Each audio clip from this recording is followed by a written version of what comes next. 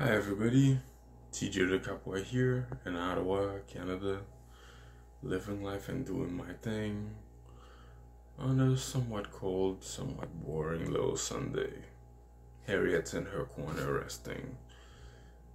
So yeah, how's everybody?